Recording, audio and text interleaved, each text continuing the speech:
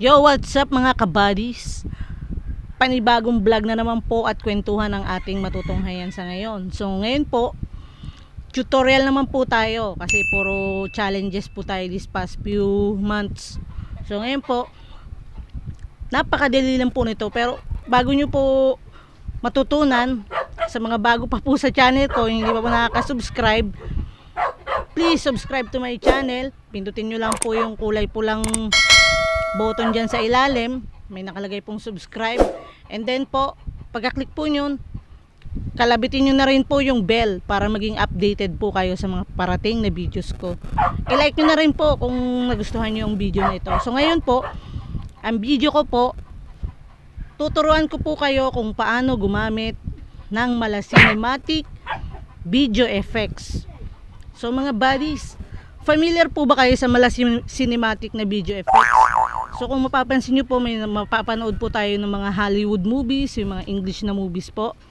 Yun po yung may mga kulay itim sa taas at sa ibaba. So napakasimple lang po nun. Gagamit lang po tayo ng apps na KineMaster as video editor. So disclaimer, ang video po na ito ay hindi provided ng ng KineMaster. So natutunan ko lang po siya guys, i-share ko lang po sa inyo para naman po kahit pa paano may mapulot kayong konting tips para sa akin. So bago natin simulan, without further ado, pass!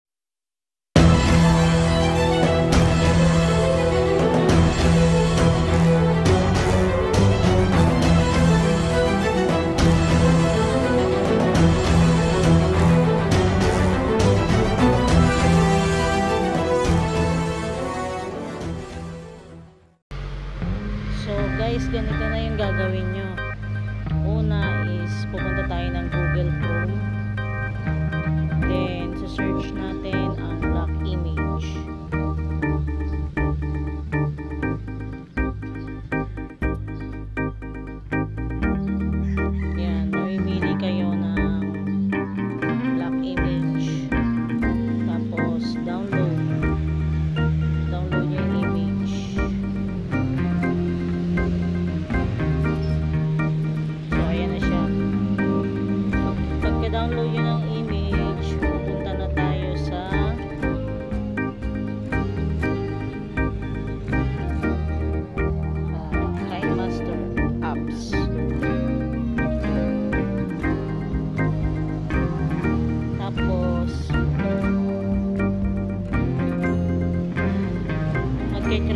tayo ng video na lalagyan natin ng black bar. Yung mala cinematic effect.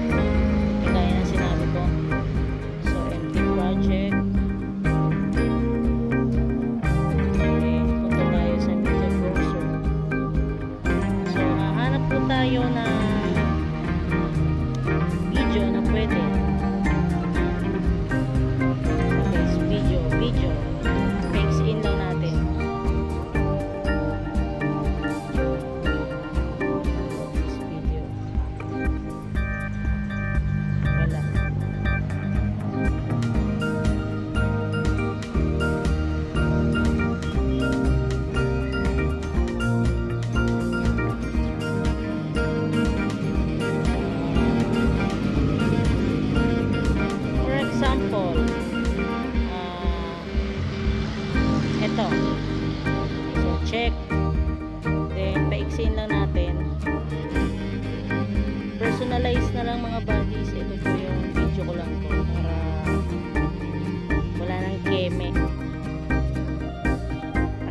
natin siya ng maiksi yung tipong pwedeng ipasok yung ano black image. So, ayan. Cut natin ah. Then, check. For example, may napili ka na ng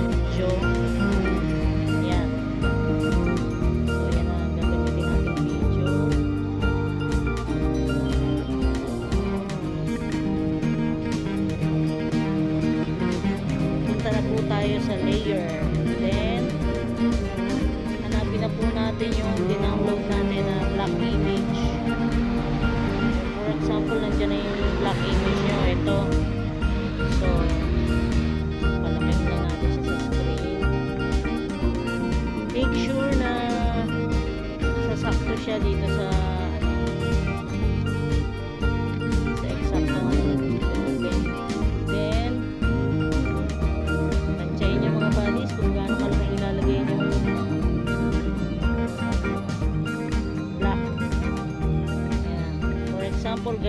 kalaki. So, i-check.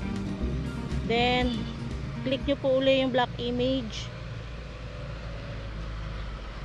Select nyo po yung dot. Then, duplicate. Duplicate. Then, hilain nyo po siya. So, itansya po natin ulit.